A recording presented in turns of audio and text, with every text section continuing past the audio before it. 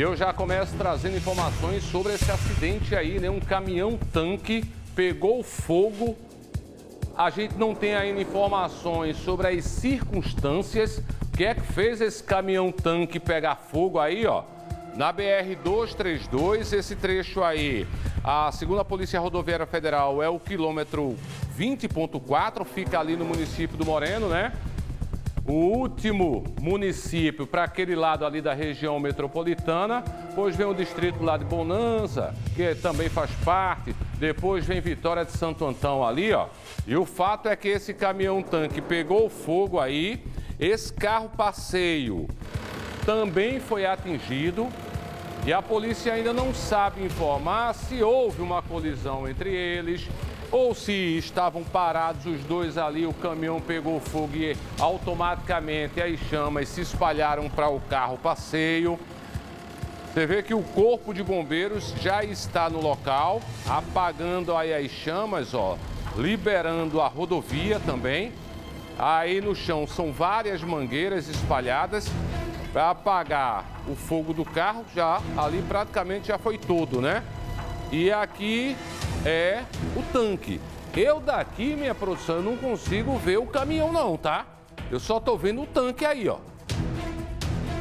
Tá vendo? Aquele tipo, aqueles tanques, né? Que é de transporte de combustível e de outros produtos químicos também, ó.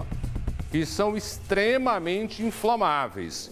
E a Polícia Rodoviária Federal recebeu a informação no local de que informação preliminar, tá? Como eu disse, a ocorrência está em andamento ainda de que uma pessoa teria ficado ferida.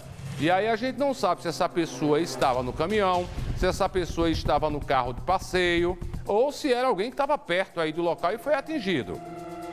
Como eu disse, Corpo de Bombeiros no local, Polícia Rodoviária Federal também no local e a gente continua acompanhando esse caso aí em Moreno. Foi agora há pouco você vê que o céu ali ó, já estava meio que dando é, é, o sol se pondo, já estava meio que começando a escurecer. Mais ou menos entre ali umas 5, 5 e pouco, ó.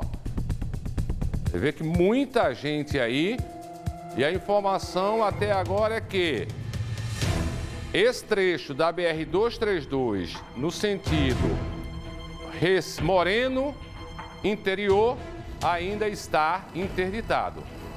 Até porque você vê que eles fizeram um cordão de isolamento, porque pode haver risco de explosão desse tanque aí.